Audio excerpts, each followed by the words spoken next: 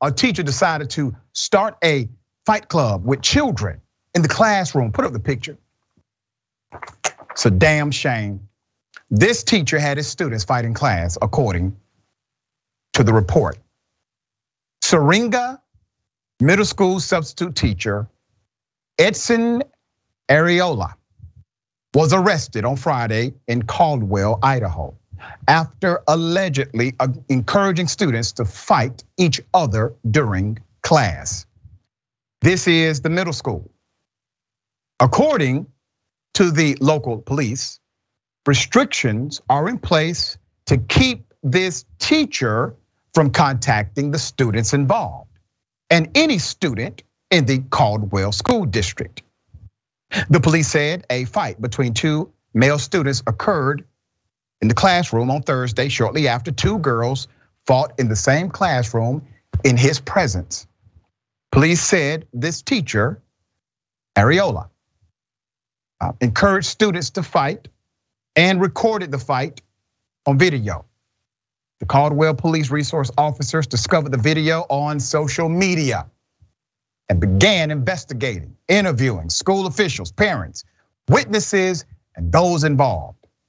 Caldwell detective said this teacher, Arreola, set a timer and encouraged the students to fight for 10 seconds while he recorded it. The students involved were not injured, according to the police. Now, let me say this to, to the police. They released a statement, oh, no, no, no children were injured during these fights. First of all, that's a damn lie. Not only is there some level of physical assault or injury, there's the mental, the psychological injury to have an adult abuse trust like this. Now, maybe you don't see it because in their developmental maturity, they don't. Maybe not right now, but they are injured by this action of this teacher.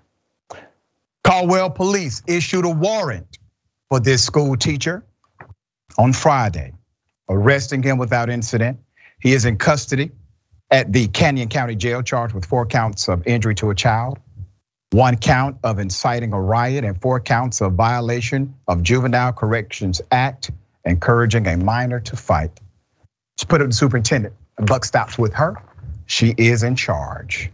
Superintendent Dr. Shalene French said the district has zero tolerance for this kind of behavior. They always say that zero tolerance, zero tolerance. She added the personal safety and welfare of each child is paramount concern. And that the district has taken steps to ensure the safety of all students, as well as provide support for the students involved at the district as the district cooperates with law enforcement. Uh, keep a picture up. Let me say this to you, madam. There's an issue uh, beyond the incident. Here's the issue.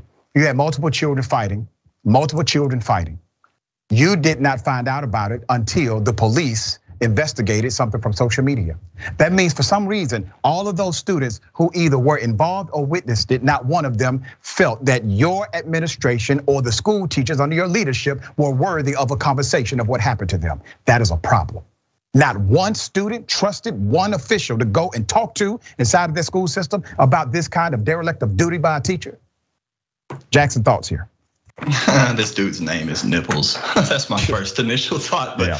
how ironic that that's his name. But um, you know, it, it's like, what are you thinking? You know, like what are you thinking? Like as if the, there's no circumstance where you could get away with this because None. people fight. They're gonna have bruises. They, you know, questions are going to be asked as if all none of the students in the classroom would have said anything. And then you're a substitute teacher, so like you know, so you have to have a reputation to go to this school and that school and that school and this school which you've completely, I mean, he's axed his career completely, like totally. Like this dude is done. And uh, how ironic is it as well, or unironic, that he looks like he's never been in a fight before? Right.